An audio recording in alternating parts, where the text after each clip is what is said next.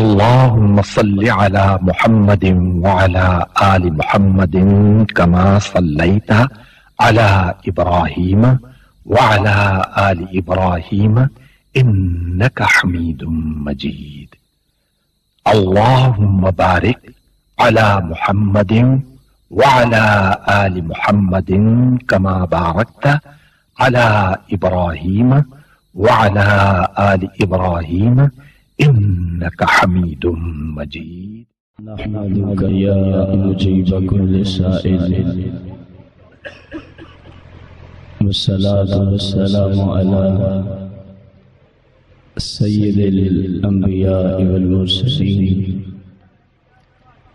وعلى آله وأصحابه وأزواجه وعلماء ملته أجمعين. أما بعد، فأعوذ بالله من الشيطان الرجيم. بسم الله الرحمن الرحيم. قال الله تبارك وتعالى في القرآن المجيد والفرقان الحميد في شان حبيبه عليه الصلاة والتسليم.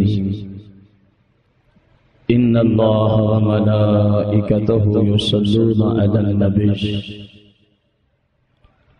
يا أيها الذين آمنوا صلوا عليه وسلموا تسليما. الصلاة والسلام عليك يا سيدي يا رسول الله. الصلاة والسلام عليك يا سيدي يا حبيب الله. الصلاة والسلام عليك يا سيدي يا شفيع المذنبين. الصلاة والسلام عليك يا سيدي يا رحمة للعالمين. الصلاة والسلام عليك يا سيدي يا جد الحسن والحسين. مولاي صل وسلم دائما أبدا على حبيبك خير الخلق كلهم.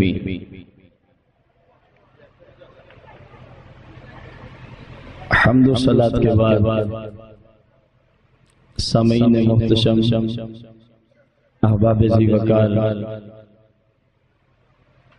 آج کی اس مقدس محفل پاک میں جو بھائی محمد شاہد اور بھائی محمد عمیر سلطانی نے مجھے موضوع دیا وہ ہے ناموس رسالت صلی اللہ علیہ وآلہ وسلم۔ اور اس کو جس تناظر میں ہم نے پیش کرنے کی کوشش کرنی ہے، اس کو آپ یوں بھی تعبیر کر سکتے ہیں۔ غازی ملت، شہید ناموس رسالت ملک ممتاز قادری رحمت اللہ تعالی علیہ کا نظریہ، از قرآن و سننا یہ بڑی اہم ترین اور انتہائی پر مغز گفتگو ہے۔ انشاءاللہ الرحمن کوشش یہی ہوگی کہ قرآن اور صحت سے ہم باہر نہیں جائیں گے۔ اور اپنا یہی مدعا ثابت کریں گے۔ جو غازی ملت ملک ممتاز قادری رحمت اللہ تعالی علیہ نے امت کو وہ ان کا سبق یاد کرایا کہ جب کبھی ایسا موقع آ جائے کہ تمہارے سامنے کوئی گستاخ رسول ہو جس نے ایسی گستاخی کی جو حد کفر تک پہنچی ہوئی ہو۔ اگر حکومت وقت وہ سزا نہ دے رہی ہو تو پھر ہم حکومت کے محتاج نہیں ہیں۔ ہم تو صرف قرآن اور سنت کے محتاج ہیں۔ پھر اس ظالم کو خود جہنم رسیدی کر دیا کرو۔ یہی کچھ آج کے درس میں ثابت کیا جائے گا۔ یقین جانا جو ملک ممتاز قادری رحمت اللہ تعالی علیہ نے نظریہ پیش کیا ہے۔ یہ وہ مقدس نظریہ ہے۔ آپ نے تو اس وقت نظریہ یہ پیش فرمایا ہے۔ جب قرآن و سنت میں اس پر دلائل آ چکے تھے۔ ہمارے پاس قرآن شریف کی روشنی میں صحابہ کرام میں سے خلیفہ ثانی سیدنا فاروق اعظم عمر بن خطاب رضی اللہ تعالی عنہ کی ہستی وہ مقدس ہستی ہے کہ ابھی قرآن میں اس مسئلے پر اصول آیا ہی نہیں تھا۔ آپ نے اس وقت بھی اسی نظریے کو اجاگر کرتے ہوئے ایک گستاخ کو ذبح فرما دیا تھا۔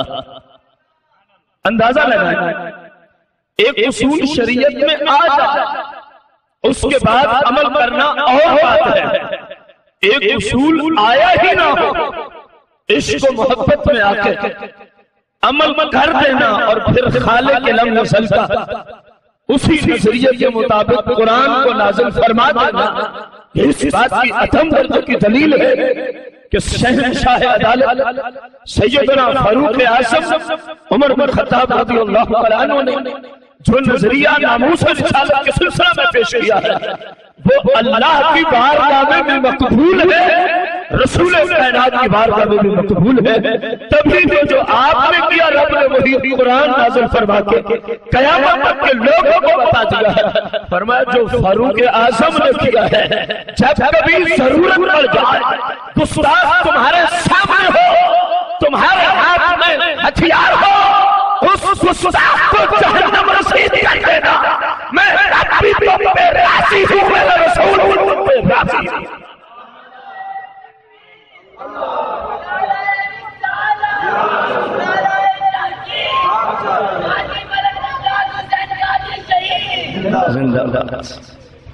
قرآن مجید فرقان حمید۔ سورہ النساء۔ آیت نمبر سات کا شان نزول اللہ کریم قرآن مجید فرقان حمید میں ارشاد فرماتا ہے۔ الم تر الى الذين يزعمون انهم امنوا بما انزل اليك وما انزل من قبلك يريدون ان يتحاكموا الى الطاغوت وقد امروا ان يكفروا به اس آیت کریمہ کا شان نزول کیا ہے؟ یہ آیت کریمہ کیوں نازل ہوئی ہے؟ اس کا بیک گراؤنڈ کیا ہے؟ آخر اس وقت کیا حالات پیدا ہو چکے تھے؟ کہ جناب جبریل امین اس آیت مبارکہ کو لے کر تشریف لاتے ہیں۔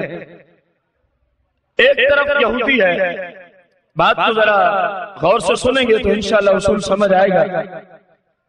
ایک طرف یہودی ہے جس کا اعلان ہے کہ میں یہودی ہوں۔ میں مسلمان اعلان کرتا ہے میں یہودی ہوں دوسری جانب وہ ہے جو بظاہر اپنے آپ کو مسلمان بھی کہتا ہے۔ سرور دو جہاں مالک کے کونوں مقام اصلاح سنگھ کے پیچھے نمازیں بھی پڑھتا ہے۔ بظاہر مسلمانوں والے افعال بھی کرتا ہے۔ اس یہودی اور وہ جو بظاہر مسلمان بنا ہوا ہے جیسا کہ قرآن مجید نے بھی۔ اس طرف نشان دے کہ الم آپ نے ان کو دیکھا ہے جن کا گمان ہے کہ ہم ایمان والے ہیں۔ حالانکہ اللہ کی بارگاہ میں تو وہ ایمان والے نہیں ہیں۔ اللہ کی بارگاہ میں وہ ایمان والے نہیں ہیں۔ اس یہودی کا اور اس شخص کا آپس میں جھگڑا ہو جاتا ہے۔ کسی بات پر تنازع کھڑا ہو گیا، جھگڑا ہو گیا۔ اب یہودی نے کہا کہ فیصلہ تمہارے نبی علیہ السلام سے کرواتے ہیں۔ کیونکہ بظاہر یہ کلمہ گو تھا۔ اپنے آپ کو مسلمان شو کرتا تھا کہ میں مسلم ہوں۔ یہودی نے کہا کہ اس جھگڑے کا فیصلہ سرکار دو جہاں کی بارگاہ سے کروائیں گے یہ جو بظاہر اپنے آپ کو مسلمان کہتا تھا اس نے کہا نہیں نہیں اس کا فیصلہ کابن اشرف سے کروائیں گے یہ یہودیوں کا ایک عالم دین تھا اس زمانہ میں۔ اور بہت بڑا منافق اور بہت بڑا گستاخ اس جو بظاہر نمازیں بھی پڑھتا ہے، بظاہر شکل و صورت بھی مسلمان جیسی ہے۔ بظاہر اس کے افعال امت مسلمہ کے ساتھ مشابہ ہے یہ کہتا نہیں، فیصلہ یہودیوں سے کروائیں گے۔ اسلوب دیتے ایک طرف یہودی ہے کہتے ہیں فیصلہ مسلمانوں سے کروانا ہے۔ مسلمانوں کا نبی اور آقا کرے گا قانون وہ اچھا ہے جو مصطفیٰ نے دیا ہے۔ یہ یہودی کہہ رہا ہے۔ اور ادھر بظاہر کلمہ کو بظاہر نماز پڑھنے والا کیا کہتا ہے؟ کہ قانون وہ اچھا ہے جو یہودی دے رہے ہیں۔ میرے بھائی میں نے صرف ملک ممتاز قادری تک محدود نہیں رہنا۔ میں نے موجودہ حکمران اور یسوسیت کی زندگی گزارنے والوں کو بھی چھوڑ چھوڑ ہوئے آگے جانا ہے۔ میں نے ان کو بھی قرآن سمجھانا ہے کہ دیکھو، جو آج تم نے نظریہ رکھا ہے، آج سے سو سو سو سال پہلے تمہارا بھی نظریہ یہاں میں جو اپنے آپ کو مسلم بھی کہتا ہے سرکار کو جہاں کے پیچھے منافع کرے ہوئے، نمازیں بھی پڑھتا ہے۔ یہودی کہہ رہا کہ فیصلہ قانون اور لا وہ مجھے پسند ہے۔ جو مصطفیٰ نے عطا فرمایا فیصلہ وہ ہونا چاہیے جو مصطفیٰ کا قانون تقاضا کرتا ہے۔ جو مصطفیٰ کا لا تقاضا کرتا ہے۔ میں اچھی یہودی ہوں، لیکن اس بات کو مانتا ہوں کہ یہاں کسی کے ساتھ زیادتی نہیں ہوتی۔ یہ بات وہ مقدس رہا ہے۔ یہاں اپنے پڑھائی کا لحاظ نہیں ہوتا۔ جہاں صرف انصاف انصاف بس انصاف کو دیکھا جاتا ہے۔ تھا۔ یہودی لیکن قانون مصطفیٰ کو ماننے والا تھا۔ کہنے لگا، فیصلہ یہاں سے کروانا ہے۔ اور ادھر وہ منافق وہ گستاخ، جو اپنے نظریات کے اندر رسول کریم صلی اللہ علیہ وسلم کے خلاف نظریات رکھتا تھا۔ وہ کہنے لگا، نہیں نہیں، مجھے سرکار کا قانون پسند نہیں۔ میں یہودیوں کے قوانین کے مطابق فیصلہ کرواؤں گا۔ اب اندازہ لگانا اس یہودی نے کہا، نہیں، میں قابل اشرف سے فیصلہ نہیں کرواتا، کیونکہ وہ ایسا بے غیرت ہے، وہ تو راشی ہے، وہ رشوت لے کے فیصلہ نحق نہیں کر دیتا ہے. میں تو اس ہستی سے فیصلہ کرواؤں گا، جہاں کسی صورت بھی کسی کے ساتھ نا انصافی نہیں ہوتی۔ آخر کا، اس بظاہر کلمہ گو کو اس یہودی کی بات ماننی پڑی اور یہ دونوں رسول کریم روف رحیم علیہ السلام کی بار گیا قدسیہ میں آپ پہنچے۔ یہ آیت ابھی تک نازل نہیں ہوئی۔ دیکھنا جو نظریہ ملک ممتاز قادری نے دیا، یہ نظریہ قرآن کے نزول سے پہلے ہمیں شہنشاہ عدالت سیدنا فاروق اعظم نے عطا فرمایا ہے۔ جس کو اللہ کریم نے پسند کیا، مصطفیٰ کریم نے پسند کیا اور قرآن کو نازل کر کے قیامت تک کے غیور مسلمانوں کو بتا دیا ہے کہ جب کہیں ایسی ضرورت پڑے تو اس کتے گستاخ کو ذبح کر کے جا تمہارے اوپر قتل کا کوئی شرر مقدمہ ہو سکتا نہیں۔ ہم قرآن سے ثابت کریں گے۔ اب چلے دونوں۔ رسول کریم روف الرحیم علیہ السلام کی بارگاہ قدسیہ میں پہنچے۔ سرکار علیہ السلام نے اس یہودی کی گفتگو کو بھی سنا۔ اور جو بظاہر اپنے آپ کو مسلم کہتا ہے، اس کی گفتگو دونوں کا مقدمہ جب آپ نے سماعت فرما لیا، آپ علیہ السلام نے فیصلہ فرمایا کہ اس کیس میں یہودی حق پر ہے۔ اس کیس میں کون حق پر ہے؟ دیکھو آقا کریم کس قدر عدل و انصاف سے کام لیا کرتے تھے؟ یقین جانے ایک طرف بظاہر اپنے آپ کو مسلمان کہنے والا تھا۔ دوسری جانب اسلام کا دشمن ہے۔ یہودی ہے۔ لیکن حق پہ وہ تھا میرے آقا کریم نے اس کی حق میں فیصلہ کاش کہ آج ہماری اس اسلامی ریاست میں کاش کہ جو عدالتوں میں جج بیٹھے ہیں کاش کہ رسول کریم صلی اللہ علیہ وسلم کی سیرت مبارکہ۔ اور اس قانون کو لیتے ہوئے کاش کہ وہ آج اس کا فیصلہ کرے کہ جس کے ساتھ حق بنتا ہے قرآن حدیث کی روشنی میں، اسی کے حق میں فیصلہ کرتے ہیں تو اس ملک میں کتنی بھار ہے لیکن بدقسمتی سے آج کہا جا رہا اسلامی ریاست۔ لیکن قانون سارے یہودیت اور عیسائیت کے لاگو ہوتے ہیں اللہ کریم کو ایسی عدالتیں پسند نہیں ہیں۔ ایسے سیاسی ایسے جج پسند نہیں ہیں۔ میرے بھائی اللہ کو تو وہ پسند ہے جو قرآن و سنت کے مطابق فیصلہ کرنے والا ہوتا ہے۔ سرکار دو جہاں علیہ السلام کے فیصلہ کے بعد دونوں بار چلے۔ یہودی نے کہا سن لیا اپنے نبی علیہ السلام کا فیصلہ۔ اب وہ بظاہر اپنے آپ کا مسلمان کہنے والا کہنے لگا، مجھے ما صلی اللہ سما ما صلی اللہ سرکار علیہ السلام کا فیصلہ پسند۔ بولے، مجھے سرکار کا فیصلہ پسند۔ اس نے کہا، پھر کہاں جانا ہے؟ پھر کہاں جانا ہے؟ کہنے لگا کہ فروخ اعظم سے فیصلہ کروانا۔ کس سے فیصلہ کروانا؟ اندازہ لگانا۔ عمر بن خطاب کی بارگاہ میں دونوں پہنچے۔ یہودی نے کہا جی ہمارا پہلے فیصلہ رسول کریم صلی اللہ علیہ وسلم نے کر دیا اور میرے حق میں کیا ہے۔ اور میرے حق میں کیا ہے۔ شہنشاہ عدالت نے اس بظاہر کلمہ گو سے پوچھا فرمایا یہ یہودی جو کہہ رہا ہے یہ ٹھیک ہے؟ یہ یہودی جو کہہ رہا ہے یہ کہنے لگا جی یہ ٹھیک ہے۔ کہ ہمارا فیصلہ سرکار علیہ السلام کی بارگاہ میں گیا اور سرکار دو جہاں نے فیصلہ یہودی کے حق میں کر دیا ہے، مجھے پسند نہیں آیا۔ میں آپ کی بارگاہ سے فیصلہ کروانا چاہتا ہوں۔ فاروق اعظم، خلیفہ ثانی رضی اللہ تعالی عنہ فرماتے ہیں، چلو ٹھہر جاؤ، میں پھر فیصلہ کرتا ہوں۔ چلو ٹھہر جاؤ، میں پھر فیصلہ۔ آپ اپنے گھر میں تشریف لے جاتے ہیں۔ یہ میرے سامنے تفسیر خاص جلد نمبر ایک صفحہ تین سو ترانوے پر یہ ساری گفتگو موجود ہے جو آپ کو عرض کر رہا ہوں۔ آپ اپنے گھر تشریف لے جاتے ہیں۔ اندازہ لگانا، جب واپس آتے ہیں تو آپ کے ہاتھ میں ننگی تلوار چمک رہی ہے۔ اب سنو، جو رسول اللہ کے قانون کو پسند نہ کرے، جو رسول اللہ کے دیے ہوئے فیصلے کو نہ مانے، فاروق اعظم اس کا فیصلہ کس طرح کرتے ہیں؟ اور یہ اتنی بات ہے کہ مجھے سرکار پسند نہیں اتنی گستاخی کی ہے۔ اور یہاں جو اس موسی گورنر نے گستاخی کی تھی وہ کسی سے چھپے ہوئے کلمات نہیں ہیں۔ میرے بھائی اندازہ لگانا۔ وہ کہتے ہیں مجھے یہ فیصلہ پسند نہیں۔ فاروق اعظم تلوار لے کے آتے ہیں۔ اس منافق کی گردن جدا کر کے اس کو سبا کر کے جانا محسوس کر دیتے ہیں۔ فرمان لوگوں سن لو۔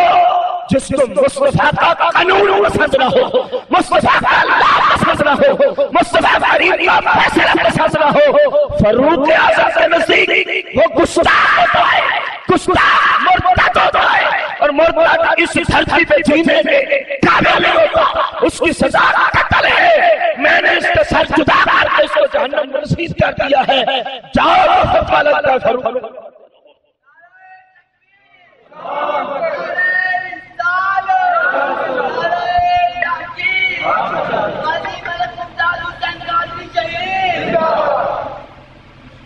اب فیصلہ کیونکہ ابھی تک قرآن میں اس کے بارے میں کوئی حکم نازل نہیں ہوا۔ رسول کریم رعوف رحم علیہ السلام کی بارگاہ قدسیہ میں پہنچا۔ یا رسول اللہ، فلاں شخص کو سیدنا عمر بن خطاب نے سبا کر دیا ہے۔ حالانکہ اس کا قصور بھی کوئی نہیں ہے۔ فاروق اعظم سرکار دو جہاں کی بارگاہ قدسیہ میں آتے ہیں۔ سرکار علیہ الصلوۃ والتسلیم نے سیدنا فاروق اعظم سے پوچھا کہ کیا آپ نے اس کو ذبح کیا؟ آپ نے عرض کی، یا رسول اللہ، میں نہیں اس کو ذبح کیا۔ فرمایا، کیوں؟ فرمایا، کیوں؟ فاروق اعظم نے عرض کی، یا رسول اللہ، یہ آپ کے پاس سے فیصلہ کروا کے لایا۔ اور آپ نے یہودی کے حق میں فیصلہ دے دیا۔ اور یہ کہتا ہے، مجھے رسول اللہ کا فیصلہ پسند ہی نہیں ہے۔ یا رسول اللہ، جو آپ کے فیصلے کو پسند نہ کرے، جو آپ کے قانون کو نہ مانے، میں تو پھر اس کا یہی فیصلہ کر سکتا تھا۔ میں نے گستاخ سمجھتے ہوئے اس کو ذبح کر دیا۔ اب یہ سرکار کی بارگاہ میں فاروق اعظم سے کلمات۔ اسی اسلام میں جناب جبریل امین، قرآن مجید، فرقان حمید، سورہ نساء، آیت نمبر ساٹھ کو لے کر نازل ہوتے ہیں۔ اور مفہوم کیا ہے؟ علم تر الى اللذین یسرون انہم آمنوا اے محبوب، آپ نے ان کو دیکھا ہے جو گمان کرتے ہیں کہ ہم ایمان لائے، جو آپ پر اترا، اس پر بھی۔ جو آپ سے پہلے اترا اس پر بھی حالت جب کسی مقدمہ میں فیصلے کی حاجت پڑتی ہے، یریدون یریدون ان کا ارادہ یہ ہے، ان کا نظریہ یہ ہے، وہ چاہتے یہ ہے کہ اپنے مقدمے میں فیصلہ ہم یہودیوں سے کروائیں گے۔ اے محبوب، فاروق اعظم نے جو کیا ہے، آپ کے رب کو پسند ہے، گستاخ کو قتل کیا ہے۔ فاروق اعظم پر کوئی اس کی جزا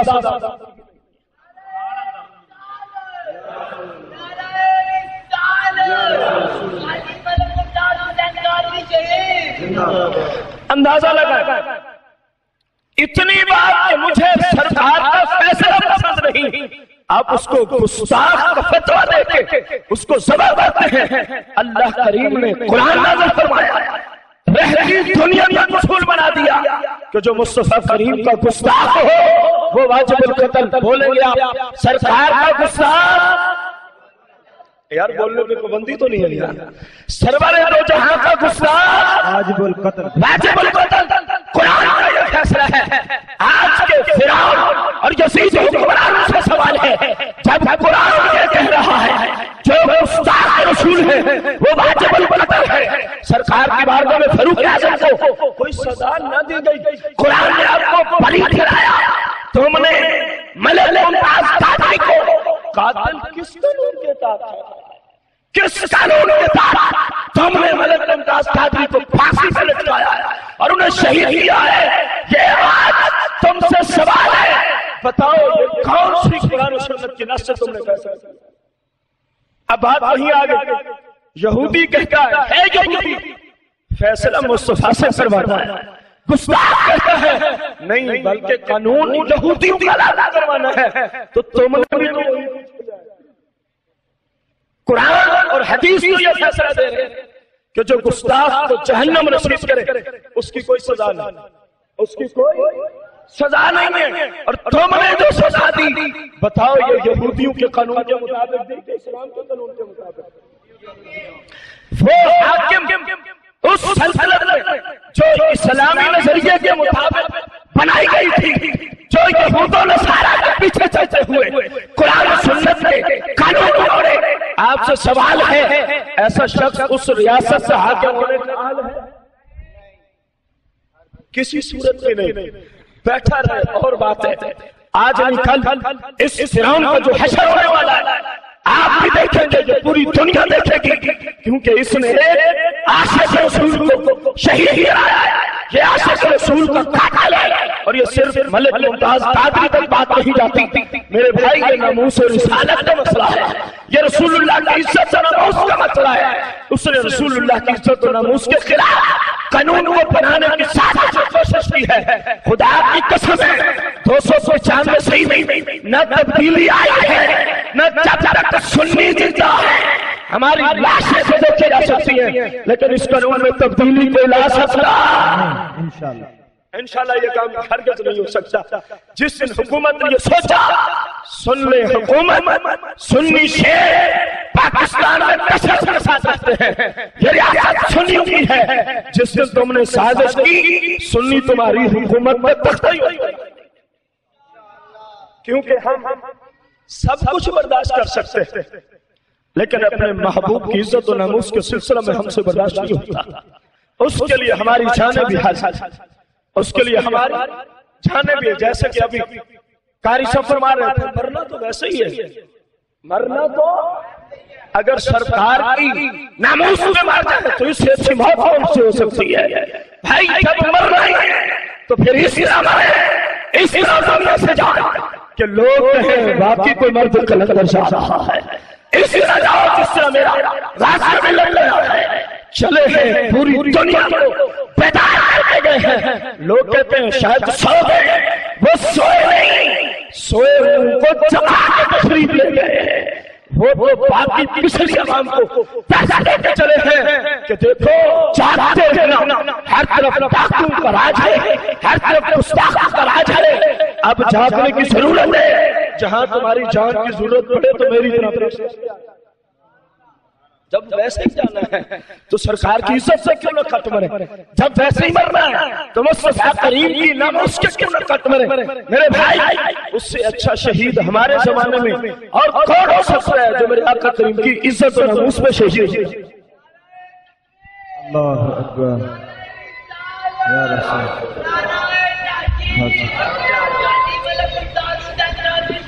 زندہ باد اندازہ لگا قرآن مجید فرقان حمید میں اٹھائیسو پارہ سورہ المجادلہ۔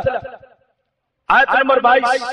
یا المجادلہ کی آخری آیت بھی آپ اس کو کہہ سکتے ہیں۔ شہنشاہ صداقت، خلیفہ بلا فس سیدنا ابو بکر صدیق رضی اللہ تعالیٰ عنہ کا اس معاملے میں نظریہ کیا ہے؟ اور جس کا نظریہ یہ ہے جو ملک ممتاز قادری نے عطا فرمایا ہے قرآن شریف اس کو کیا کیا اور صاحب کیا کیا عزت ہے اور کون کون سے رتبے عطا فرماتا ہے؟ سنیے گا اللہ کریم کے پاک محبوب کے یہ اترنے والی مقدس کتاب۔ اٹھائیسواں پارہ سورہ المجادلہ آخری آیت کا شان رسول کیا ہے؟ رسول کریم رؤوف الرحیم علیہ السلام کے خلفاء میں سے خلیفہ بلا فس سیدنا ابو بکر صدیق رضی اللہ تعالی عنہ۔ آپ کے والد محترم اسلام لانے سے پہلے کی بات۔ آپ کے والد کے اسلام لانے سے اس بات کو دہرانے تاکہ کوئی غلط فہمی نہ پیدا ہو بعد میں۔ آپ کے والد محترم کا یہ واقعہ اسلام لانے سے پہلے کا ہے۔ اب واقعہ کیا ہے؟ سیدنا صدیق اکبر رضی اللہ تعالی اور آپ کے والد محترم ابھی تک مسلمان نہیں ہوئے۔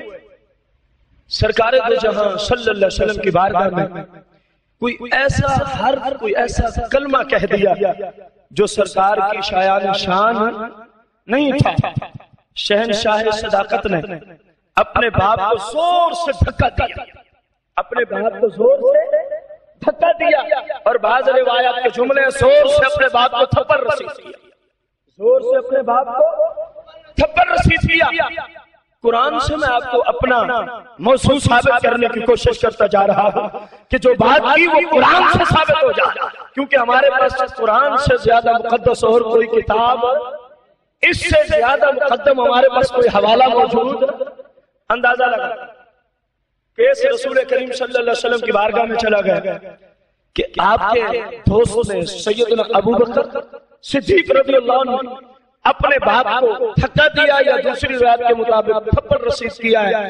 ان سے پوچھا جائے آخر کیوں؟ آخر کیوں؟ رسول کریم صلی اللہ علیہ وسلم نے ابو بکر صدیق رضی اللہ تعالیٰ عنہ سے جب پوچھا، عرض کی یا رسول اللہ، میں نے مارا ہے اپنے باپ کو، لیکن اس کی ایک وجہ ہے۔ میرے والد نے آپ کی شان میں ایسا جملہ بولا ہے جو آپ کی شایان شان درست بس برداشت نہیں ہوا میں نے اپنے باپ کو مارا ہے۔ اور ساتھ سرکار پر کی بارگاہ میں عرض کرتے ہیں یا رسول اللہ خاص لو خان سیف جملے سے سے کے قابل لو خان سیف قریب منی یا رسول اللہ۔ اگر اس وقت میرے قریب تلوار موجود ہوتی یا رسول اللہ میں اپنے باپ کو قتل کر دیتا اس کی قسمت تھی یا رسول اللہ میرے پاس نعرہ رسال نعرہ رسال نعرہ رسال یہ دیکھیں میں اپنی طرف سے کوئی بات نہیں کر رہا۔ یہ کتب اس لیے لایا۔ کائنات کی کسی سے حکومت کے وقت کو ضرورت ہماری گفتگو کے اوپر ریفرنس کی۔ یہ دیکھیں عربی تفاصیر ساتھ لایا یہ میرے سامنے سیاستہ موجود ہے۔ ہم اپنے گھر سے کوئی بات نہیں کرنے بیٹھے۔ باتیں مصطفیٰ کی ہیں۔ البتہ ڈیوٹی ہماری لگی کہ علم مسلمانوں تک پہنچا دی جائے جو مسئلے میں ہے، کم از کم قرآن و سنت پہ ایمان رکھتے ہیں نہیں رکھتا؟ اب دیکھو کتنا مقدس نظریہ عرض کیا۔ یا رسول اللہ کاش لو کان سعید کاش لو یہاں کاش کے معنی میں کاش کہ میرے پاس اس وقت تلوار ہوتی تو میں اپنے باپ کی گردن کو اڑا دیتا۔ اتنی بات ہوئی۔ جبریل امین نازل ہو۔ جبریل، دیکھیں، مسلمانوں کے لیے تو اتنا ہی کافی تھا کہ رسول کریم صلی اللہ علیہ وسلم فرماتے بس ٹھیک ہو گیا۔ لیکن کچھ خارجیت میں جو آنا تھا جو ہر حدیث پہ کہ یہ حدیث ٹھیک نہیں، اس حدیث کا متن درست نہیں، اس حدیث کی سنت ٹھیک نہیں، اس حدیث کے فلان آئی پہ کلام ہے۔ حدیث کا یہ بڑا اہم موضوع تھا۔ گستاخ رسول کی سزا سرکان سے جڑا بڑا اہم موضوع تھا۔ اس لیے حدیث تک نہ رکھا، بلکہ جبریل کو بھیج کے قرآن نازل کر۔ کیونکہ قرآن کو تو کوئی ضعیف نہیں کہہ سکتا۔ قرآن کی سنت میں تو کسی کو کوئی کلام ہی نہیں ہو سکتا، ورنہ وہ کم از کم مسلمان نہیں ہو سکتا۔ ورنہ جو قرآن میں شک کرے وہ مسلمان جبریل امین قرآن مجید فرقان حمید کی یہ آیت مبارکہ۔ غور سے سننا۔ یہ میرے لیے بھی ہے، آپ کے لیے بھی ہے۔ حکومت وقت کے لیے بھی یہی قرآن ہے۔ اور قیامت تک کے مسلمانوں کے لیے یہی قانون اور یہی اسلام، یہی قرآن ہے۔ اللہ کریم نے کیا فرمایا؟ فرمایا، لا تجدو لا تجدو۔ قوما یؤمنون باللہ والیوم الاخر محبوب، میں مفہومی ترجمہ کر رہا ہوں. محبوب، آپ ایسا مسلمان نہیں پائیں گے. ایسا کوئی مسلمان ہو سکتا؟ سادہ لفظ میں یوں کہہ دیں. جو بھی مسلمان ہوگا، جو بھی اس کی شان یہ ہوگی، مفہومی معنی، جو بھی مسلم ہوگا، اس کی شان کیا شان ہوگی؟ یوادون من حاد اللہ و رسول کہ وہ اللہ اور اس کے پاک محبوب کے گستاخوں سے محبت کرے، محبوب مسلمان یہ کام نہیں کر سکتا۔ لا تجد قوم یؤمنون باللہ والیوم الاخر جو بھی مسلم ہوگا، اللہ پر ایمان رکھتا ہوگا، آخرت پر ایمان رکھتا ہوگا، محبوب اس کے اندر کچھ کا کچھ تو مل سکتا ہے۔ لیکن یہ بات اس مسلم میں نظر آ سکتی۔ کون سی بات؟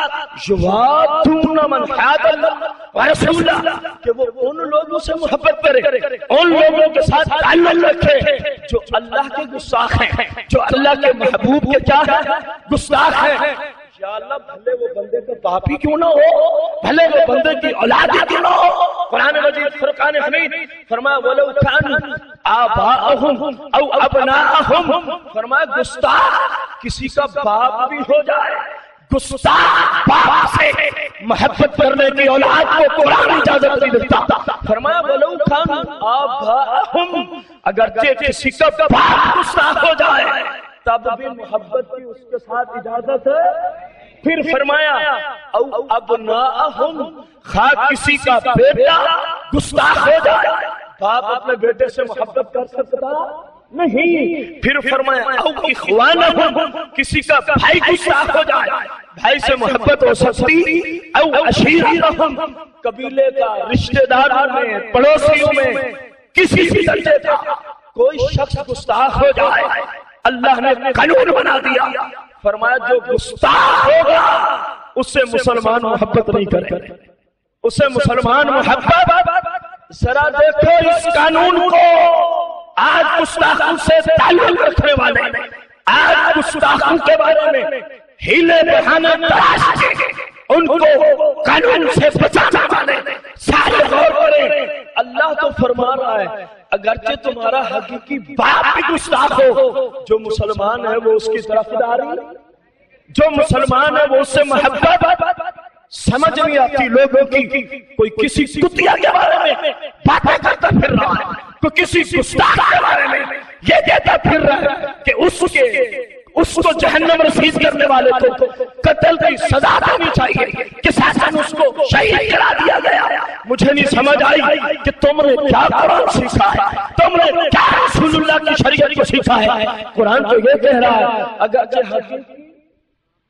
باپ بھی گستاخ ہو جائے، مسلمان اس سے محبت، تم گستاخوں کی طرف داریاں کرتے تم گستاخ عیسائی کے پیچھے نہ جائے۔ صرف کیا ہے؟ پاؤنڈ اور ڈالا نہ خاطر جھوٹی دنیا اس سے خاطر سب کچھ کر رہے ہو۔ بدماشوں سوچو، جب مر جاؤ گے، امریکہ تمہارے کام نہیں آئے گا۔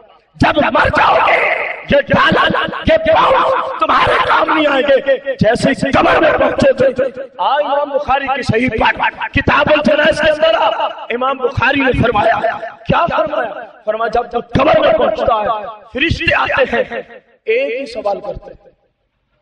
یہ صحیح بخاری۔ کتنے سوال؟ ایک سوال۔ سوال کیا ہے؟ ما کنت تقول فی حق حاضر بس اتنا بتا، اس ہستی کے بارے میں تیرا نظریہ کیا تھا؟ امام بخاری نے کتاب الجنائز میں، صحیح بخاری کی کتاب الجنائز میں ایک ہی سوال پر من ربوں کا، وہاں ذکر ماں دینوں کا، وہاں ذکر نہیں۔ فرمایا، ایک سوال کا جس کو جواب آ جائے۔ گا اس کو رب کی بھی پہچان ہے، اس کو دین اسلام کی بھی پہچان ہے. بھائی مانو، اس وقت کیا حالت ہوگی تمہاری؟ آپ ان گستاخوں کو بچانے کے لیے، سزا سے بچانے کے لیے مختلف ہیلے بنانے، تراشنے والوں میں تم سے سوال کرتا ہوں اور اپنے آپ کو مختلف انداز سے جھوٹے القابات دینے والوں، کتابوں میں لکھنے والوں، تم سے سوال ہے، جب قبر میں پہنچو گے کیا یہ عیسائی اگر چاہتے ہو کہ قبر و آخرت سمجھ آئے تو پھر قانون وہی جو قرآن نے دیا۔ گستاخ کوئی بھی ہو واجب القتل گستاخ کوئی بھی ہو واجب القتل ہے۔ اندازہ لگا اللہ کریم نے فرمایا محبوب کوئی مسلمان بھی ایسا نہیں ہو سکتا جو کسی گستاخ سے کیا کرے۔ محبت کرے، خواہ اس کا باپ ہو، وہ گستاخ، خواہ اس کی اولاد ہو، خواہ اس کا بھائی ہو، خواہ پڑوسی ہو، رشتہ دار ہو، کوئی بھی ہو۔ یا اللہ، جب کسی مسلمان کا یہ عقیدہ ہو تو اس کو تیری طرف سے کیا کچھ نام ملتا ہے؟ اللہ کریم نے فرمایا اولئک کتب فی قلوبہم الایمان۔ یہ پہلا انعام ہے جو گستاخ کے معاملے میں شریعت کے مطابق فیصلہ کرے۔ شریعت کے مطابق نظریہ رکھے کہ گستاخ واجب بولو تو صحیح، گستاخ واجب اللہ کریم نے فرمایا اولئک کتب فی قلوبہم الایمان۔ یہی وہ لوگ ہیں جن کا یہ نظریہ ہے، ان کے دلوں میں ہم نے ایمان کو بے کر دیا۔ یہ لوگ ایمان والے ہیں، یہ لوگ اسلام والے ہیں۔ دوسری بات، فرمایا وَأَيَّدَهُمْ بِرُوحٍ مِّنْ یہ جہاں کہیں مرضی ہوں گے، ان کو میری مدد پہنچتی رہے گی یہ جہاں کہیں ہوں گے، کون؟ جو گستاخ کا رگڑا نکال کے رکھتے ہیں، جو گستاخ کو واجب قتل سمجھتے ہیں۔ فرمائیے، جہاں بھی ہوں گے، پہلی شان یہ ہے کہ میں رب کہہ رہا ہوں، یہ ایمان والے ہیں۔ یہ کیا ہے؟ اولائک کاتب فی قلوبہم الایمان۔ اللہ نے ان کے دلوں میں ایمان کو پیوستہ کر دیا۔ یہ حقیقی اسلام والے ہیں۔ میرے بھائی، دوسری صرف ایسے لوگوں کو اللہ کریم نے فرمایا، تم جہاں کہیں بھی رہو گے، اللہ کی مدد پہنچتی رہے گی۔ اللہ کی مدد پہنچتی رہے گی۔ تیسری صرف، وَيُدْخِلُهُمْ جَنَّاتِ۔ فرمایا، ہم ایسوں کو ہی جنت میں داخلہ عطا فرمائیں گے۔ کیسوں کو؟ جو گستاخوں کو رعایت نہ دے۔ جو گستاخ کے بارے میں نرمی سے کام نہ لے، ان کو ہم جنت میں داخلہ عطا فرمائیں گے۔ فرمایا، خالدین فیہا، وہ ہمیشہ ہمیشہ جنت میں رہیں گے۔ اور سب سے بڑی اہم بات، فرمایا، رضی اللہ عنہم فردو عنہم فرمایا جس کا یہ نظریہ ہو کہ گستاخ واجب القتل گستاخ واجب القتل ہے۔ رضی اللہ عنہم ایسے مسلمانوں سے اللہ راضی ہے۔ ایسے مسلمانوں سے اللہ اور اللہ ایسے ایسے انعام عطا فرمائے گا کہ وہ بھی اللہ سے راضی ہو جائیں۔ وہ بھی اللہ سے راضی اور پھر اگلا انعام عطا فرمایا۔ فرمایا اولئک حزب اللہ۔ یہ اللہ کی جماعت ہے۔ یہ اللہ کا گروہ ہے۔ اللہ کی جماعت، اللہ کا گروہ۔ کون ہے جو گستاخوں کے معاملے میں نرم جو گستاخ کو واجب القتل سمجھے۔ اولئک حزب اللہ۔ قرآن کہہ رہا ہے، یہ اللہ کی جماعت ہے۔ یہ اللہ کا گروہ ہے۔ اور قرآن نے کہا اللہ ان حزب اللہ ہم المفلحون. سن لو، بس اللہ ہی کی جماعت کامیاب ہے. اللہ ہی کی جماعت جنت کو پہنچی ہے. میرے بھائی، قرآن مجید، فرقان حمید کی یہ دوسری آیت میں نے اپنے نظریے پہ پیش کی ہے کہ گستاخ واجب القتل ہے. اللہ کریم قرآن مجید، فرقان حمید میں فرما رہا یہ اللہ کا گروہ ہے جو گستاخ کو واجب قتل سمجھے اور ان کو کرے. اور ان کو اگر حکومت نہیں کرتی تو کیا ہوا؟ ہمارے بازو میں طاقت ہے۔ جب تک ہم زندہ ہیں، اگر تم گستاخوں کو معافیاں دو گے تو سنیوں کا۔ ایک ایک شیر گستاخوں کو چل چل کے جہنم رسیز کرتا رہا۔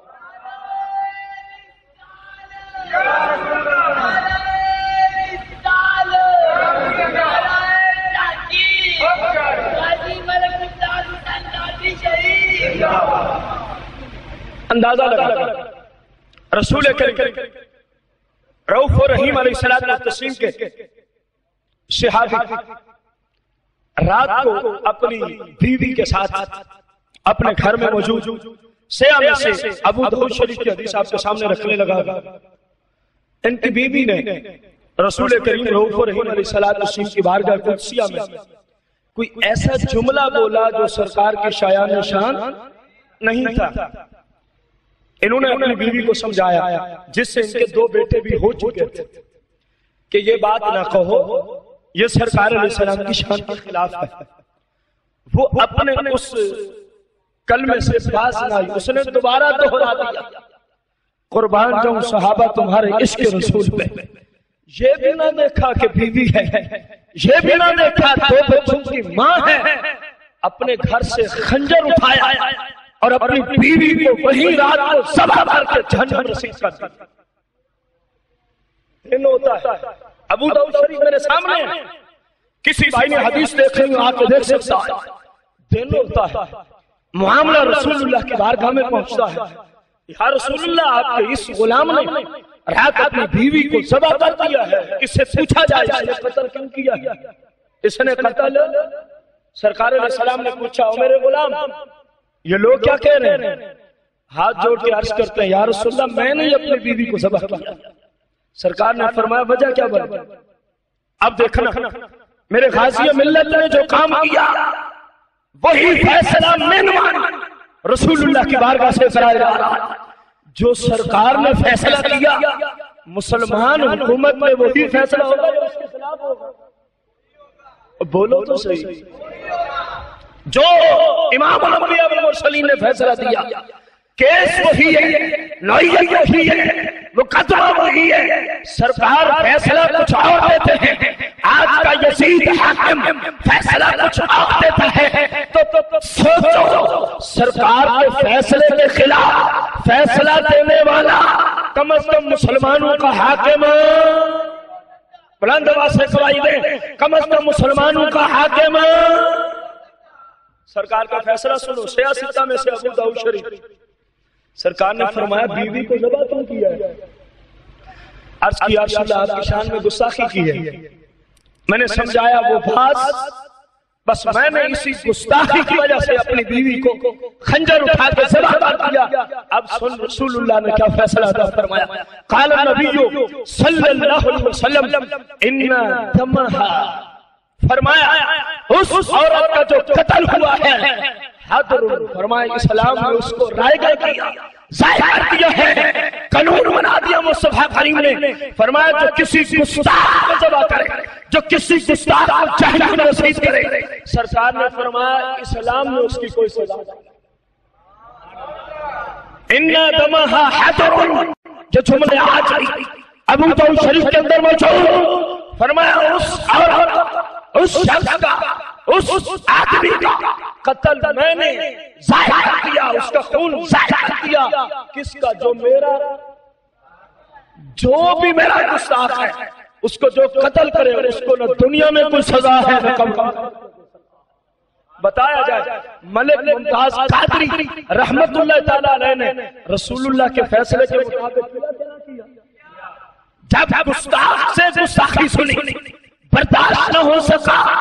آپ نے گستاخ سلمان تصیر کو جہنم حاصل کیا رسول اللہ کے فیصلے کے مطابق۔ اور جب عدالت کی بات آئی، انہوں نے فیصلہ سرکار کے مطابق کیا۔ سرکار تو فرما رہے ہیں، ان دمہ حدود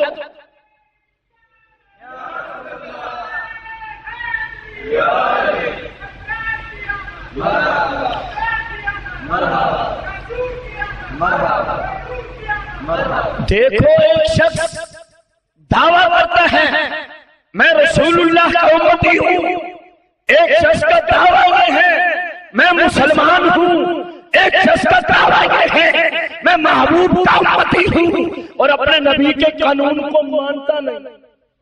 اپنے محبوب کی شریعت کے خلاف صرف امریکہ کے خنڈوں کو خوش کرنے کی غرض سے۔ یہود و نصارہ کو خوش کرنے کی غرض سے اس بدبخت حاکم نے رسول اللہ کے اس فیصلے کو توڑ رسول اللہ کے اس فیصلے کے خلاف فیصلہ دیا ہے۔ بتاؤ، ایسا شخص رسول اللہ کا امتی ہو سکتا ایسا شخص رسول اللہ پہ ایمان لانے والا کہلا سکتا ہے؟ کسی صورت نہیں۔ میرے بھائی، ایک اور بات بھی کہتا چلو۔ آگے مستقبل میں ووٹ آنے ہیں۔ ہم نعرے تو بڑے لگاتے ہیں، لیکن جب پریکٹیکلی کوئی کام کرنا ہوتا ہے، اسی نعرے کے خلاف۔ آج ہم اس فرعون اور یزید حاکم کے خلاف بیٹھے ہیں۔ لیکن جب باری آئے گی، الیکشن میں ووٹوں کی، تو دیکھنا، کثیر تعداد سنیوں کی، مسلم لیگ نون کو ووٹ دے رہی ہوگی۔ سن لے قرآن و حدیث کی روشنی میں، اس فرعون و حاکم کی تحریک کو ووٹ دینا مسلمان پہ حرام ہے، حرام۔ مسلمان کے لیے حرام ہے کہ وہ نواز شریف کی تحریک کو کیا دے۔ کوئی راضی ہو یا ناراض ہو، جو رسول اللہ کا گستاخ ہو، جو منافق ہو، جو یہودیوں کا ایجنٹ ہو، جو یہودیوں کا پٹھو ہو، بتایا جائے مسلم۔ ووٹ کی حیثیت کبھی سوچا کہ ووٹ کی شریعت میں حیثیت ہم حکومت وقت میں جو الیکشن کمیشن ہوتا، اس کو ہم گواہی دیتے ہیں کہ میرے نزدیک یہ بندہ صحیح مسلمان ہے، امانت دار ہے، اس میں کوئی ایسی ویسی فسق و فجور والی بات ہے یہ ووٹ کی اصل ہے۔ کیا ایک گستاخ کے بارے میں یہ جملے ہم بولیں گے؟ کہ یہ امین ہے، یہ مسلمان ہے، یہ فلاں ہے، یہ فلاں ہے۔ خدا کی قسم، جو کوئی سنی ہوگا، وہ اس کی تحریک کو کبھی بھی ووٹ کیونکہ اس رسول کریم کی ناموس اور عزت پر ایک شخص کو شہید کرا دیا۔ ایسا حاکم، ایسی تحریک، ووٹ لینے کے قابل ووٹوں کی باری آئے۔ اللہ کرے ہمارے مشائق میں سے۔ اللہ کرے ہمارے مشائق میں سے۔ کوئی ہمارا بزرگ عالم دین آگے آئے۔ جس طرح کے ایک تحریک کا آغاز ہو چکا ہے۔ تحریک لبیک یا رسول اللہ۔ اللہ کرے کہ الیکشن میں حصہ اللہ کرے۔ اور میں جتنے جو میں بھی وعدہ کر کے اٹھتا ہوں۔ آپ بھی وعدہ کر کے اٹھے اگر ہمارے مشاہد ووٹوں کی صورت میں سیاست میں تشریف لائیں گے مر تو سکتے ہیں اپنے مشاہد کے سوا کسی کو ووٹ۔ انشاءاللہ الرحمن رسول کریم صلی اللہ علیہ وسلم نے قانون بنا دیا۔ فرمایا جو کسی گستاخ کو جہنم رسید کرے، اس کی کوئی سزا۔ اونچی بولو، اس کی کوئی سزا۔ اندازہ لگائے۔ اس معلوم گورنر کے جملے اور ادھر عبداللہ بن رواح کا نموس رسالت کے متعلقہ نظریہ۔ رسول کریم صلی اللہ علیہ وسلم اپنی سواری پہ تشریف فرمائے۔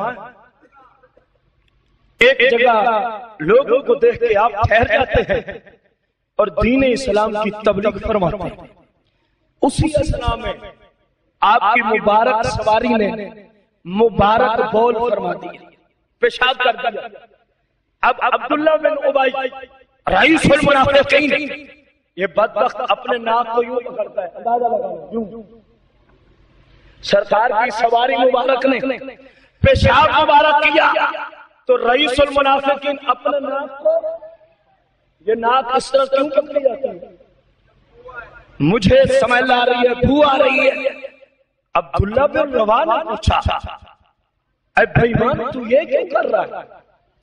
کہنے لگا مجھے سرکار علیہ السلام کی سواری کے پیشاب سے کیا آ رہا ہے؟ اندازہ لگاؤ، سرکار کی سواری بھی نہیں۔ سواری مبارک کے پیشاب کی بات ہے۔ میرا تو یہ ایمان و نظریہ ہے، دنیا کی ساری عزت دنیا کی ساری عزتیں، سارے منصب۔ اپنے محبوب کے جانور پہ پہ میں قربان میرا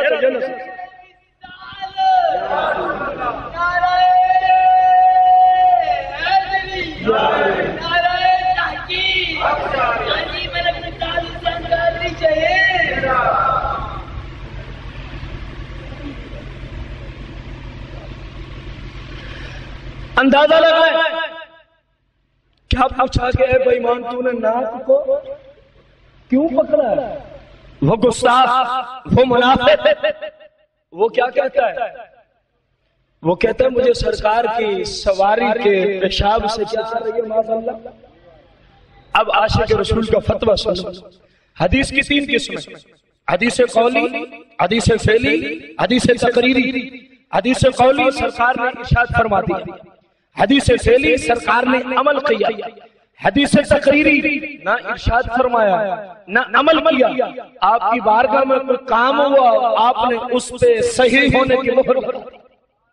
اس کو حدیث تقریری کہتے ہیں۔ عبداللہ بن روا کا عقیدہ سن۔ سرکار دو جہاں کی موجودگی میں جو وہ منافق گستاخ یہ وعدہ کر رہا ہے کہ مجھے سرکار کے جانور مبارک کے بول مبارک سے کیا کی ہے؟ فرمایا، واللہ۔ اے گستاخ سن، فرمایا، اللہ کی قسم۔ واللہ۔ بولو حمار رسول اللہ صلی اللہ علیہ وسلم۔ لا اتیاب من فرمایا گستاخ کتے سن۔ تو کہتے ہیں مجھے سرکار کے جانور کے پیشاب سے سمجھ آ رہی ہے۔ عبداللہ بن روا صحابی رسول نے فتویٰ دیا۔ سرکار بھی موجود ہے۔ سرکار کی موجودگی میں فرمایا گستاخ مسلمان کا یہ عقیدہ ہے۔ مسلمان اپنے محبوب کی سواری کے پیشاب کے خلاف بھی گفتگو سن سکتا۔ فرمایا، واللہ، اللہ کی قسم، اللہ کی قسم ہے۔ کیا قسم اٹھائی؟ واللہ! بولو حمار رسول اللہ صلی اللہ علیہ وسلم فرمایا او گستاخ میرے محبوب کی سواری کا جو پیشاب مبارک ہے من ریحکا تیری خوشبو سے تیری مشک کی خوشبو سے ہے گستاخ۔ میرے محبوب کی سواری کا پیشاب اللہ کی قسم زیادہ خوشبو ہے۔ صحابہ نموس رسالت کے متعلقہ۔ کتنا زیادہ سختی کے ساتھ عمل پیرا تھے۔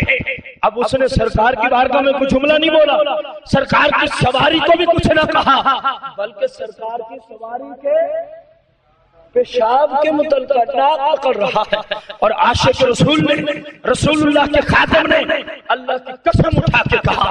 فرمایا، تیری خوشبو سے میرے آقا کے جانور کے پیشاب سے زیادہ خوشبو آتی ہے۔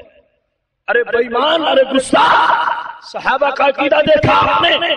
سرکار نے اس بات پہ کوئی انکار نہ فرمایا تو حدیث تقریری ٹھہری۔ گویا سرکار نے جہاں کی طرف سے قانون ملا امت کو کہ اگر مجھ سے نسبت رکھنے والی سواری کے پیشاب کے خلاف بھی کوئی بولے تو جو مسلمان ہوگا فوراً۔ فوراً چڑھ جائے گا۔ میرے بھائی، اگر سرکار کی سواری کے پیشاب کے متعلقہ کوئی بات کرے، تو صحابہ اس کتے پہ فتوا لگا دیں۔ کیا خیال ہے جو میرے آقا کریم کی عزت کے بارے میں بھونکے؟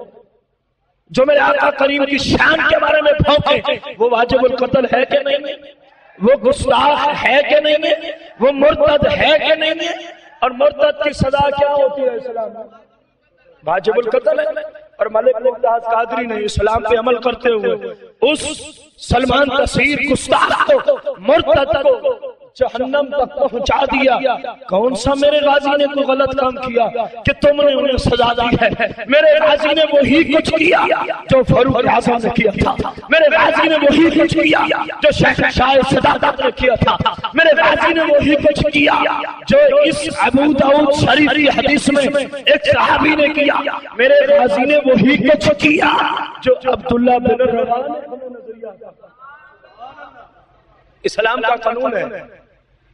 قرآن و حدیث کا مسلمان قانون ہے کہ جب کوئی شخص مجرم ہو اور کعبہ شریف کی حدود میں پہنچ جائے۔ کعبہ شریف کی حدود میں میرے سامنے یہ حدیث موجود سے حدیث موجود۔ کہاں پہنچ جائے؟ قرآن و حدیث کا فیصلہ ہے۔ اب وہ امن والا ہوا ہے اب اس کو امان ہے۔ جب تک حرم کعبہ میں ہے اس کو امان ہے لیکن گستاخ رسول ایسا مجرم ایسا ظالم ہے یہ صرف حرم کعبہ میں نہ ہو بھلے کعبے کے خلاف کو سر پہ ڈال کے ہو میرے آقا فرماتے ہیں اس کو وہی قتل یہ ہمارے سامنے موجود ہے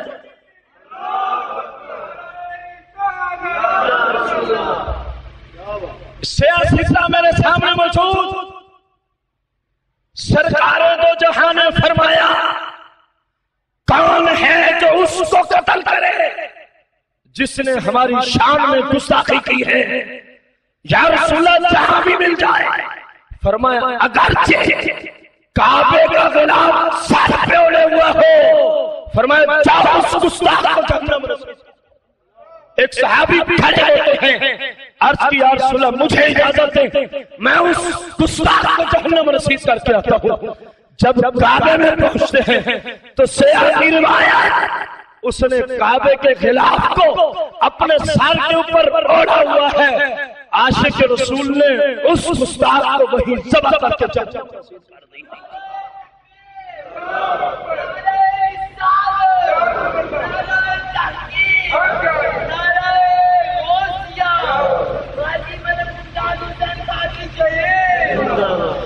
اندازہ لگائے جہاں مجرموں کو امان مل جاتی ہے۔ سرکار فرما رہے ہیں، گستاخ کو امان نہیں ہے۔ گستاخ رسول کو وہاں بھی امان نہیں بھلے کعبے میں ہو، فرمایا فقتلو جاؤ اس کو جہنم رسید کر دو۔ اور صحابی گئے، کعبے کے خلاف میں چھپا ہوا ہے۔ رعایت نہ کی، کیوں؟ کیونکہ گستاخ جو تھا۔ مسلمان گستاخوں سے رعایت نہیں کرتے صحابہ جیسا جن کا عقیدہ ہوگا، وہ گستاخوں میں رعایت والے قانون کی چھان بین میں، جو چھان بین میں لگا ہوا ہے۔ فلاں ملونہ کو چھوڑ دو، فلاں ملون کو چھوڑو فلاں غازی ملت کو قاتل قرار دے کے اس کو سزا دی جائے۔ سن لینا، وہ کچھ ہو سکتا ہے، مسلمان نہیں ہو سکتا۔ وہ کچھ ہو سکتا ہے۔ مسلمان نہیں ہو سکتا۔ آج کہتا پھرتا ہے، جن سے ڈالر ملتے ہیں، جن سے پاؤنڈ ملتے ہیں، آج ان کو کہتا ہے کہ میں تو اس چیز کا قائل ہوں کہ گستاخی رسول کی سزا صرف مسلمان کو دی جائے۔ آ، میں تجھے سیاستہ سے پڑھ کے سناؤں۔ رسول اللہ کا فرمان، ایک یہودی خاتون نے، کس خاتون نے؟ سرکار کی شان میں گستاخی کی۔ صحابی رسول نے اس کو جہنم رسید کر دیا کہ سرکار کے باہر کا کچھ میں پہنچتا ہے۔ سرکار علیہ السلام نے قانون بنا دیا۔ فرمائنا دمہا حیدرون، جس نے اس کتیا جس نے اس گستاخ، ملون عورت کو زبا کیا ہے۔ فرمایا، اس کی دنیا میں کوئی سزا نہیں، قبر آخر کوئی سزا نہیں۔ تو کس اسلام کی پیروی کر رہا ہے؟ تو کس احادیث سے یہ فتح دے رہا ہے کہ عیسائی اور یہودی گستاخی کرے تو اس کو دو سو پچانوے سی کے تحت کوئی سزا نہیں ہونی چاہیے۔ رسول اللہ نے تو یہودی عورت جس نے گستاخی کی، صحابہ نے اس کو جہنم رسید کیا۔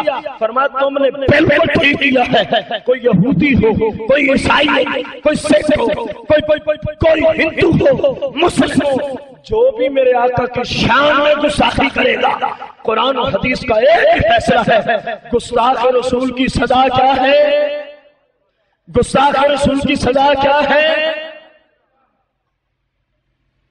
یہ چند باتیں ہیں میں نے آپ کے سامنے رکھی، جو مجھے بھائی شاید نے وقت دیا تھا، اس کا خیال کرتے ہوئے۔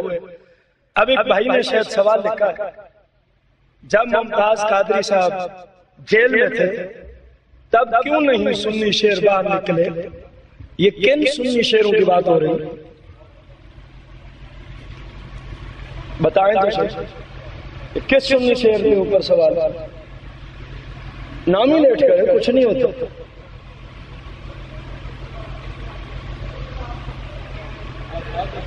اس طرح تو نہیں سوال ہوتا۔ اب کتنے سنی اٹھے کتنے مسلمانوں نے مختلف انداز میں۔ اس کیس کی پیروی کی۔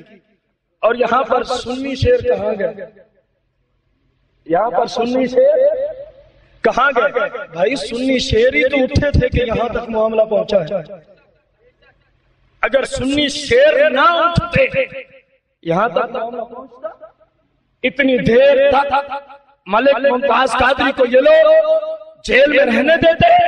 یہ سنی شیر تو اٹھے تھے۔ تبھی تو یہ کیس اتنا لمبا ہوا، تبھی تو اس پہ اتنا کلام ہوئے۔ میرے بھائی، بتا تو صحیح۔ کس سنی شیر کی تو بات کر رہا جو سست رہے ہیں ان کو جگانے کی ضرورت نہیں وہ پھر سوال تو اس طرح نہ ہوا۔ یہاں لکھا ہے، جب ممتاز قادری صاحب جیل میں تھے، تب سنی شیر باہر کیوں نہیں نکلے؟ تو باہر وہاں بھی نکلتے تھے۔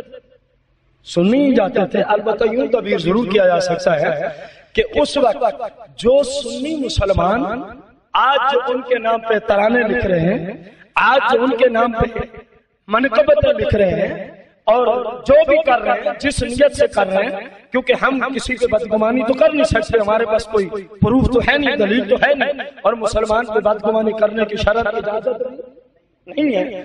یہ تو کہا جا سکتا ہے کہ اس وقت یہ لوگ میدان میں کیوں نہیں نظر آئے؟ یوں تو جملہ بولا جا سکتا ہے۔ جب سنی شیر کہیں گے تو میرا پورا مسئلہ کی مراد ہوگا؟ مسئلہ پورا مراد ہوگا کہ نہیں ہوگا؟ اور ہمارا مسئلہ کی تو اس کیس کی پیروی کرتا رہا ہے۔ وہابیوں کو تو آپ کے سامنے جو مرضی ہو گیا، وہ تو ایک دن بھی باہر نہیں ہے ان کا باہر نہ آنا ہی اس بات کی دلیل ہے کہ وہ دو سو پچانوے سی کو قبول نہیں کرتے۔ ان کا باہر نہ آنا ہی اس بات کی دلیل ہے کہ وہ سرکار کے بارگاہ میں جو مرضی کوئی گستاخی کرے، ان کو کچھ نہیں ہوتا۔ جن کو کچھ ہوتا ہے، تکلیف اسی کو ہوتی ہے۔ باہر وہی آتا ہے نا گفتگو وہی کرتا ہے۔ نکلتا وہی ہے، سڑک پہ آتا وہی ہے۔ اب دیکھیں، اسلام آباد میں جو کچھ ہمارے قائدین کے ساتھ ہوا، گو میں اس وقت پاکستان میں موجود نہیں تھا، لیکن خبریں تو پہنچتی رہی جو کچھ قائدین کے ساتھ ہوا، یہ سارے سنی شیر تھے کہ نہیں تھے؟ سنی شیروں کے ساتھ ہی حکومت حق میں ظلم کیا نا۔ حالانکہ صرف قرآن و حدیث کی آواز اور حق کی آواز کو بلند کرنے کے لیے بیٹھے تھے۔ کوئی غلط مطالبہ نہیں تھا۔ قرآن اور حدیث کے مطابق مطالبہ تھا۔ سنی شیر، ہمیشہ شیر ہیں۔ البتہ جو غفلت کے شکار ہیں، ان سے اپیل ہے۔ جہاں کہیں بھی مسئلہ کو ضرورت پڑے، جہاں کہیں بھی نمو سے رسالت کا مسئلہ ہو، وہاں اپنی جانوں کو سامنے پیش کر دیا۔ فقط نارو تک نہ رہے، بلکہ جہاں جان کی ضرورت ہے، مال کی ضرورت ہے، اپنے مسلک کے حقیقی علماء کا ساتھ دے، اس وقت قائدین کا ساتھ دے۔ انشاءاللہ وہ وقت دور نہیں، اس سلطنت اسلامیہ پر وہ وقت دور نہیں۔ انشاءاللہ اہل سنت کا راج ہوگا۔ انشاءاللہ اہل سنت کا فیصلہ وہی ہوگا اس ملک میں۔ جو مصطفیٰ کریم کی مرضی کے مطابق ہوگا۔ عدالت اس طرح چلے گی اس ملک میں۔ جو میرے محبوب کی شریعت کے مطابق ہوگی۔ انشاءاللہ اللہ سے دعا کو ہے مالک اس ملک میں ایسا حاکم عطا فرما دے جو اس کے باہر محبوب کے قانون کو نافذ کرے اور یہاں بس نظام مصطفیٰ کا راج نظام مصطفیٰ کا اللہ کریم سے دعا کو ہے جو چند احادیث اور دو آیات بینات آپ کے سامنے رکھیں۔ اللہ کریم اس کو اپنی بارگاہ قدسیہ میں شرف قبولیت کا درجہ عطا فرمائے۔ آمین۔ بجاہ نبی الکریم علیہ الصلوۃ والتسلیم۔ ماشاءاللہ۔